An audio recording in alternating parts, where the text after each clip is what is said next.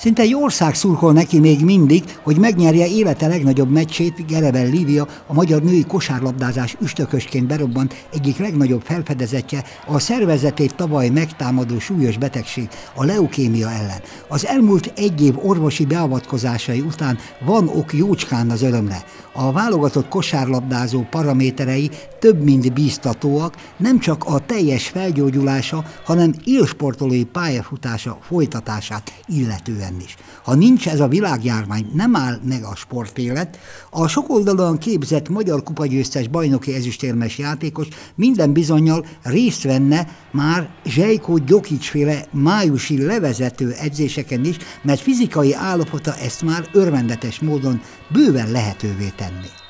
mindenképpen nagyon jó így egy év után, hogy már látom a fényt az alagút végén. Ugye sajnos egy ilyen betegségnél csak öt év tünetmentesség után lehet arról beszélni, hogy valaki teljesen meggyógyul, de persze én teljesen egészségesnek érzem magam, illetve már az orvosémtől is engedélyt kaptam arra, hogy sportoljak itthon, illetve kimenjek futni, meg biciklizni, úgyhogy nagyon várom már, hogy újrainduljon a szezon. Fél órákat fut, egy órát kerékpározik, miközben otthoni körülmények között speciális erősítést is rendszeresen naponta végez. Ez az utószezon, amit Zsajkó szokott nekünk csinálni 4-6 hetes edzésekkel, ezen már szerettem volna részt venni. Persze nem tudtam volna azért olyan edzésmunkát végezni, mint a lányok, mert amellett, hogy én egy évet kihagytam, ugye azért kaptam kemoterápiás kezeléseket is, ami elég sokat kivett belőlem, de mindenképpen valami könnyebb edzésmunkát végeztem volna az idő alatt. Csapatával a KSC Szexárdal a nehezebb napokon is együtt élt lelkileg a szó legszorosabb értelmében. A Sopron elleni Magyar Kupa döntőn nagyon szurkolt azért, hogy az történjen, ami 2018-ban máig nem felejtendő a Soproni mérkőzés, újra legyőzzék az itthon sok éve uralkodó sztárcsapatot. Örül annak, hogy a magyar játékosok szinte mindegyikével sikerült megegyezni a klubvezetésnek, reménykedik, hogy több játékost, különösen azokat, akiknek a teljesítményét nagyra értékeli, sikerül megtartani a külföldiek közül. Én kettő légióst ugye nem ismerek a Maját, illetve a Tájmarsal, nekem nem voltak csapattársaim, igaz, nagyon pozitív dolgokat hallottam róluk, viszont Erika McCall és ugye Ivana Dojkicsal már együtt játszottam, őket nagyon-nagyon szerettem a pályán is és a pályán kívül is, illetve Szerek Krinics ugye magyar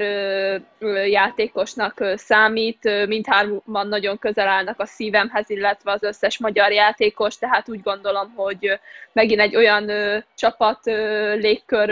gyűlhet itt össze, ami egy ütőkártya lehet minden csapattal szemben, bármennyire lesznek jó játékosok is ott.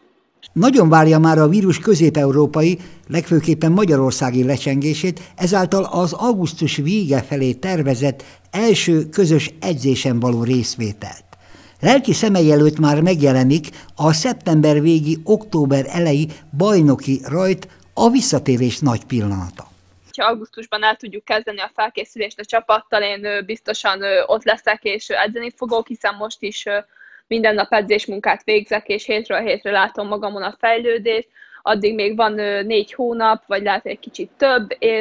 úgyhogy szerintem addig én is olyan szintre fogok tudni érni, hogy már remélem, hogy a, hogy a közös munka, hogy közösen tudok majd dolgozni a lányokkal, még ha nem is 100%-ban, de a feladatok 70-80%-át már szeretném addigra majd végrehajtani a csapattal. Nagy álma a klub sikerek elérése mellett az, hogy az ő generációjával, mindenek előtt Studer Ágnes csapattársával, no és más csapatokban is szereplő,